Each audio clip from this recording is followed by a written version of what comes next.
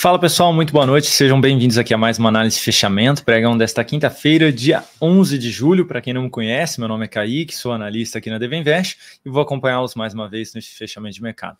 Peço desculpas já pelo atraso, infelizmente tivemos aqui um problema técnico na nossa internet e por conta disso acabou atrasando aí realmente o nosso fechamento de mercado aqui e por consequência a gente teve que reagendar aí também a nossa sala de aula é, para amanhã. Então teríamos a sala de aula agora às 18 horas da noite, porém precisei reagendar para para não ficar muito aí em cima e de repente não não acontecer de fato a live, tá? Então a sala de aula. É, portanto, ser, terá, será feita aí amanhã, dia 12, às 18 horas da noite, tá bom? Então já fica aqui o meu convite para você participar. Não vou rodar a vinheta por conta do atraso, então bora direto aí para o nosso gráfico.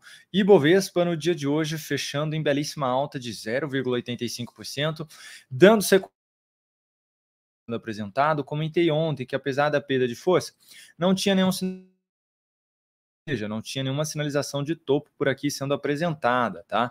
Não tinha nenhum topinho aqui sendo apresentado, então a expectativa era de continuidade do movimento. Resistência mais relevante continua na faixa dos 129.500 pontos. Com a bela barra de força, continua ainda a expectativa positiva de continuidade do movimento. Ah, Kaique, mas não está muito esticado? Pois é, mas também estava para cair, né? Então, tá vindo aí na mesma proporção aqui uh, o Ibovespa, tá? Então segue muito bem aí, de verdade mesmo, o nosso índice. Voltando aqui para cima também deste fechamento de fundo anterior.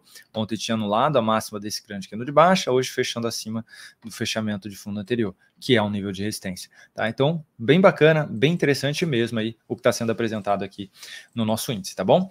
Uh, falando aqui agora de mini índice, pessoal, na sessão de hoje o mini índice apresentando, deixa eu ajustar aqui, apresentando uma alta de 0, 0,94% até o momento, tá dando sequência também no movimento de alta.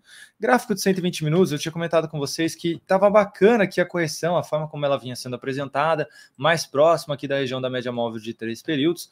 E uma sinalização de fundo abriria a possibilidade de compra, tentando pegar a continuidade deste movimento. Até deixei aí não, na verdade, esse, essa projeção aqui é, foi o que eu utilizei ali durante a sessão, tá? Mas essa aspiração de máxima abria a possibilidade de compra tentando a continuidade do movimento. Enquanto estivesse acima dos 128 mil pontos, a minha expectativa era essa, de continuidade. Portanto, foi bacana o que foi apresentado aí hoje, tá?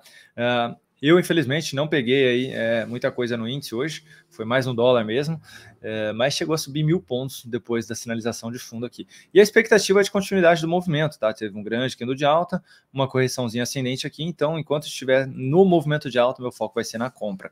Só olho para venda abaixo dos 128,700 agora, tá bom? Dólar, na sessão de hoje, vindo aqui para fechar por enquanto com alta de 0,51, mais uma vez superando, mais uma vez não, agora superando máxima aí do pregão anterior e vindo para fechar acima dela, inclusive. Porém, abaixo da média aqui ainda. Então, pode até ter uma tentativa de repique em direção aos 483, 490 aí, mas batendo nessa região, a minha expectativa maior ainda seria de um novo sinal negativo. Gráfico de 120 minutos, a gente tem aqui esse repiquezinho bem fraco sendo apresentado aqui ainda, pode ficar, como eu mencionei, nos 490, sinal negativo próximo desse nível de, de preço. Meu foco é na ponta vendedora. Então, dependendo aí de como for, dá para tentar encaixar uma comprinha, tentando levar até essa região, tá? Mas se voltar já para baixo da média, dos 445 aí, confirmar fechamento abaixo, aí já posso, já abre a possibilidade de retomar aí a venda, tá bom? Falando agora aqui de Petrobras, na sessão de hoje apresentando uma alta de 0,68%, enfraquecendo um pouco aqui do, do candle de baixa anterior e ainda dentro da sinalização de fundo que havia sido apresentada. Minha recomendação é, para quem está comprado nessa sinalização de fundo, já deixar o stop aí no zero, tá bom? Uma aspiração de máxima aqui amanhã, principalmente do candle de baixa, já reforça a expectativa de continuidade do movimento de alta, podendo vir para fechar o gap aí nos R$ 39,13, que continua sendo a resistência mais relevante. Suporte fica aí na faixa da média, nos 37,82, com essa região de topo aqui também. Continua dentro do swing trade aqui de fundo ascendente. Vale, né? É, swing trade que eu digo aí de uma possível compra, né? Não que eu esteja comprada, tá bom?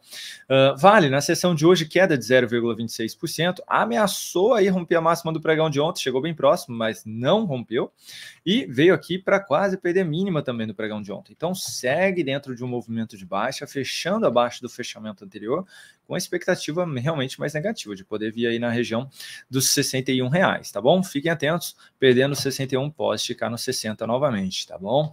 Uh, ainda sem sinal de compra, para quem tem interesse aí, teria que pelo menos ter a superação de máxima do pregão de hoje, dos 62 e 70, e o stop ficaria ainda na mínima do pregão de ontem, no 6183, tá bom? Suporte, mais uma vez, 61, depois seguido ali dos 60, resistência mais relevante ainda segue aí na faixa dos 64 e 50.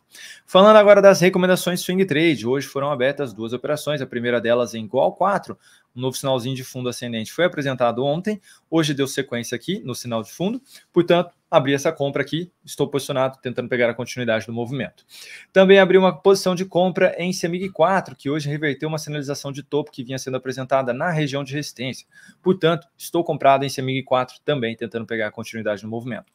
CSMG3 fechou em queda de 0,72, continua posicionado na compra, terceiro candle de correção aqui. Vamos ver se nos próximos pregões dá continuidade em direção ao meu alvo, tá bom? Meu stop já está no zero. Itaúsa fechando na máxima do dia de hoje, uh, com alta de 0,49%, dando continuidade aqui no pivôzinho que foi apresentado. Show de bola, provavelmente eu vou trazer meu stop ainda mais para cima aqui amanhã. Então fiquem atentos aí uh, lá dentro do aplicativo da DV Invest, os assinantes, tá bom? E por fim, Duke 3 aqui, que voltou para baixo do meu preço de entrada, mas sigo posicionado na ponta compradora, meu stop está bem protegido aqui embaixo, tá bom? Então, vamos ver se devolve aí esse candle de hoje, supera a máxima dele nos 12,22 e dá continuidade aí no movimento de alta. Uh, falando aqui agora da maior alta do pregão, tinha S3, alta de 4,10%, um fechamento muito interessante, muito importante, fechou acima da média móvel do semanal e da média móvel de 200 períodos, tá? Então foi um fechamento bem relevante, bem acima mesmo, se distanciou bem. Uh, apresentando bastante força na ponta compradora e também superando a máxima do, do mês anterior, então gerando aqui uma nova sinalização positiva de gráfico mensal, abrindo possibilidade de compra de médio a longo prazo, com stop ali na, na faixa dos R$ 15,29. Então, para quem tem interesse em compra de médio a longo prazo no papel, abriu essa possibilidade aqui hoje. Em termos de swing trade, teria que aguardar aí pelo menos mais um, dois ou três pregões aí e uma superação de máximo, um sinalzinho de fundo ascendente com stopzinho menor aqui, para ter um stop mais bem encaixado aqui, tecnicamente falando, tá? É, o ideal ainda acima dos 16,30, esse sinal de fundo, pelo menos. E Pera, na sessão de hoje, apresentando a maior queda de 1,44%, uma queda não muito expressiva, segue ainda dentro dessa lateralização, respeitando a região da média móvel do semanal, na faixa dos 29,50, mais essa região de vamos lá, falar lateralização, né, anterior aqui, essa, essa base aqui da lateralização anterior, respeitando mais uma vez aí, portanto, os 29 e 50. Para operações de swing trade, eu vejo possibilidade de compra apenas um sinal de alta acima desse nível de preço que vem sendo respeitado. O sinal de alta aqui, inclusive, abre possibilidade de poder buscar resistência mais relevante nos R$ 31,90. Banco do Brasil, falando de um bancão, na sessão de hoje, queda de 0,5%. Mais uma vez ontem, né, gerou um sinalzinho de fundo, hoje superou máxima, tentando dar sequência, foi lá testar a média móvel do semanal e devolveu. A gente segue, pessoal, com topos descendentes aqui no papel, tá? Olha só. A gente segue aí com topos descendentes, então a gente ainda permanece aí com essa tendência de baixa, tá? Tinha um sinalzinho de fundo ascendente aqui, mas esse fundo retomou ali a tendência de baixa quando foi perdido, tá bom?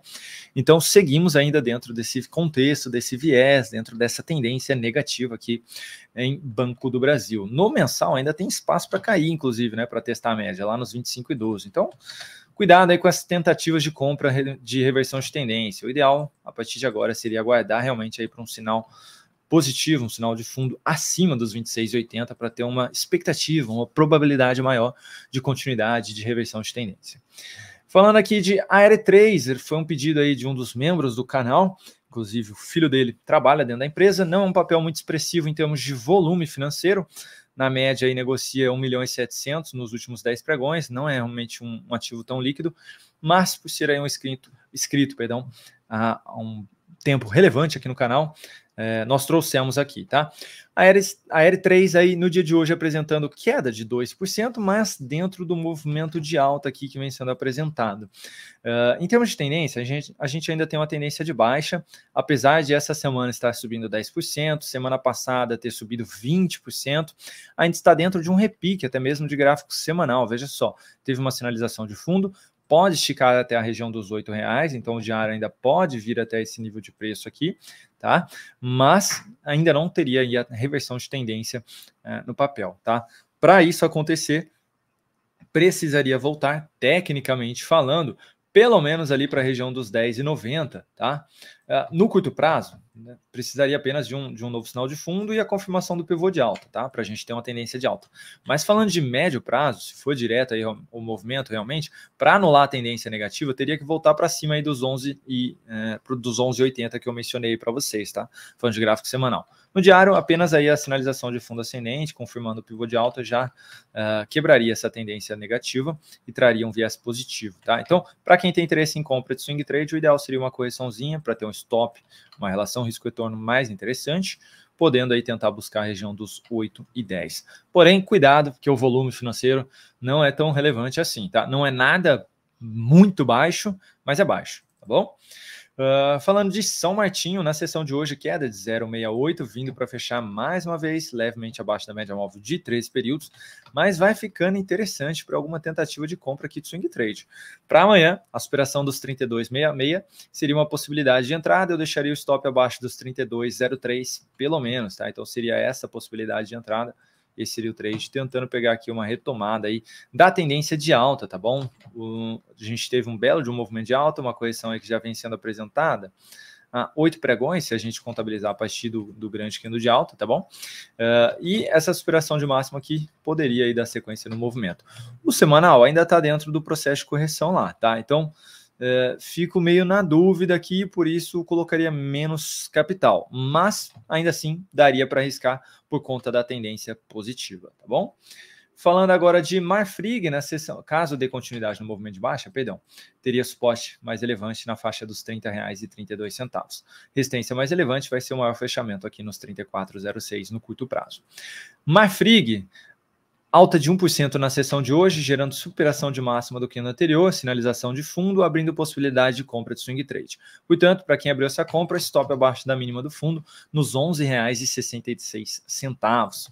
Retornou aí para baixo desse fundo, stop aí da posição de swing trade e probabilidade maior de poder esticar até a faixa dos R$ 11,10 seria buscar novamente a média móvel do gráfico semanal. Resistência mais relevante, caso dê sequência no movimento de alta, seria basicamente a faixa dos R$ 12,95 a R$ 13,00 basicamente, tá bom?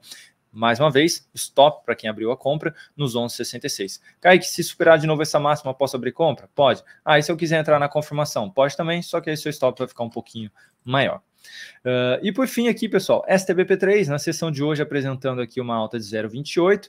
O papel aí buscou hoje a projeção aqui deste pivôzinho de alta, aquela correçãozinha mais curta, que não me agradava a compra, inclusive, né, mas que deu sequência, buscou ali os 14,70.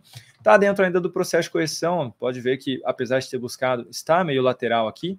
Se limpar o movimento aqui, pessoal, tiver aí as máximas descendentes, apresentar um sinalzinho de fundo próximo dos 13,80, 13,90, abre possibilidade de compra de swing trade.